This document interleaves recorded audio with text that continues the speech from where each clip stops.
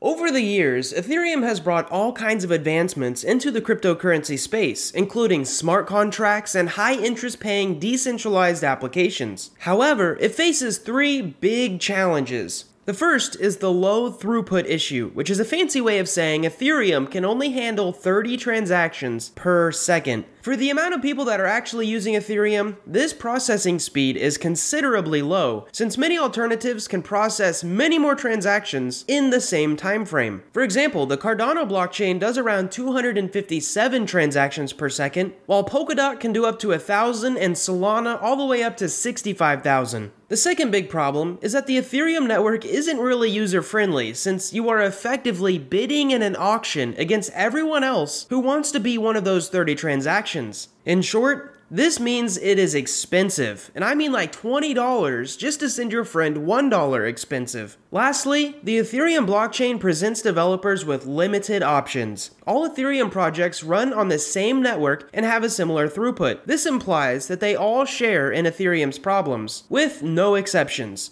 But what if there was another blockchain that leveraged Ethereum's technology while also offering higher throughput, extremely low transaction fees, and better options? Welcome to Whiteboard Crypto, the number one YouTube channel for crypto education, and here we explain topics of the cryptocurrency world using analogies, stories, and examples so that you can easily understand them. In this video, we are going to explain what Polygon is, how it works, as well as the specific tokenomics of the Matic coin. So in 2017, three Indian developers sought to find a solution to Ethereum's problems, which resulted in the creation of Matic, which is now rebranded to the Polygon network. Now one thing to note here is that even though they rebranded to the Polygon network, the coin is still called the Matic coin. Polygon is a layer 2 scaling platform that allows Ethereum based applications to tackle the problems that I mentioned earlier while also leveraging Ethereum security. Its primary focus is to increase the usage of DeFi tools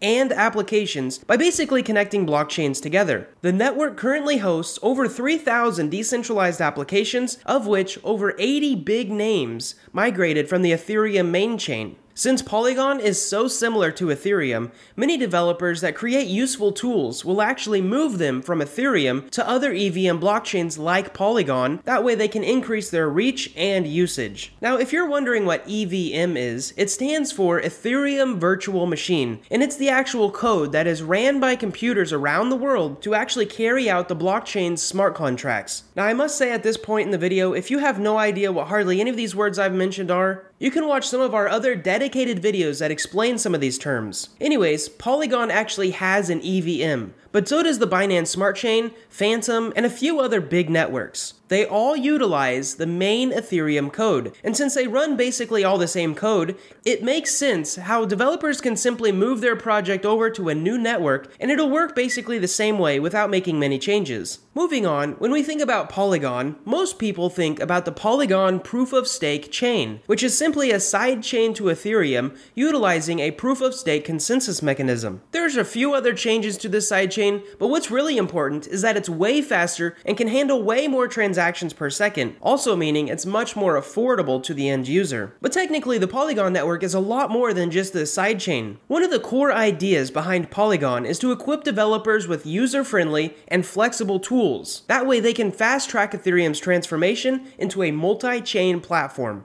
To put this in simpler words, Polygon isn't just this single proof of stake chain that we usually think of. They are a series of blockchains that can help scale Ethereum. When they actually achieve this, developers can easily create all kinds of different scaling solutions that they can use with Ethereum, like completely separate chains, like ZK rollup chains, optimistic rollup chains, or any other sidechain that they desire. By the way, you can check out our videos on sidechains and rollups if you want to learn more about how those specifically work. They're really unique and creative ways to bundle up data and save space on the main Ethereum chain. The Polygon proof of stake chain is just one way to scale Ethereum. In reality, Polygon plans to create many different solutions for users to scale it. So at first glance, I thought Polygon was pretty simple, but when you look at its internals, there's a lot more than regular users see. For users like you and me, we can sum up Polygon in one sentence. It's basically Ethereum, but with super cheap gas fees. Right now, to transfer your Ethereum from one account to another, the fee is like $20. However, on the Polygon network, it is less than a penny. This means users are free to try out new apps and test things out without the fear of losing $150 over a token swap. Personally, the Polygon and Binance Smart Chain are the two DeFi blockchains that I recommend to new users. So take that for what it's worth. Moving on, let's get into a little bit more about how Polygon actually works. So Polygon is driven by the layer 2 scaling solution and the proof of stake protocol, serving as what is called a commit chain to the main Ethereum chain. Now, if you don't know what a commit chain is, it functions as a transaction network that operates close to the real chain. Therefore, in Polygon's case, it actually works alongside Ethereum. Now, before we continue, a lot of the future stuff I'm going to be talking about is pretty technical. But if you're interested, let's dig in. The Polygon commit chain groups up clusters of transaction and processes them all together before sending the data back to the main Ethereum chain. Think of it like this. Instead of sending an entire video of all the transactions, Polygon simply takes a single snapshot every now and then so that the Ethereum chain can still understand what is happening, but without processing a ton of data. This is why the Polygon network can actually process up to 65,000 transactions per second. Some experts predict that a time will come when developers will host thousands of chains that work hand in hand with Ethereum to increase throughput all the way up to millions of transactions per second.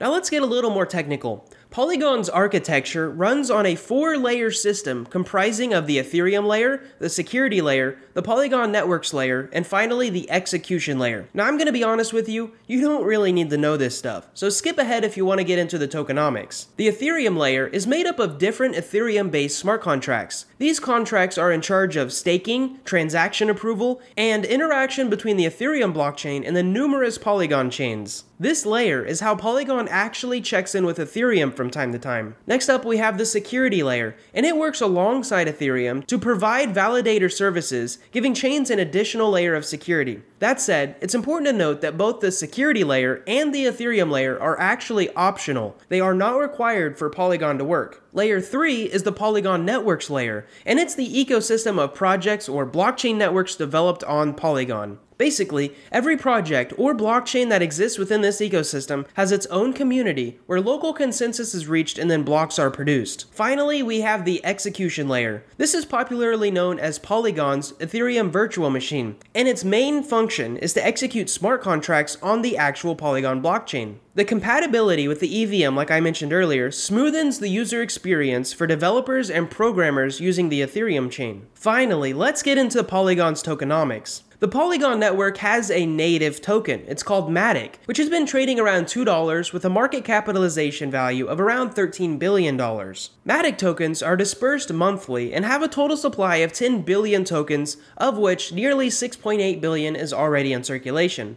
The difference between these two numbers is tokens that are held for staking rewards and tokens with a time locked release schedule that we'll talk about later. Initially, the developers sold around 3.8% of Matic's total supply in their initial private launch all the way back in 2017. Then later, they had an initial exchange offering where they sold another 19% of the max supply. If you're wondering where the other tokens are, the development team owns 16% of the supply, the advisors have 4%, staking rewards come to around 12%, the ecosystem already has 23%, while around 22% went to the Polygon Foundation. And since Matic tokens are technically being printed to reward stakers, right now it is technically inflationary. However, Matic does have a limited supply, and soon they will be implementing their version of EIP 1559. If you have no idea what that is, what it basically means is that base transaction fees will effectively be burned, which means Matic will eventually be a deflationary token. Now, if you're anything like me, you might be wondering,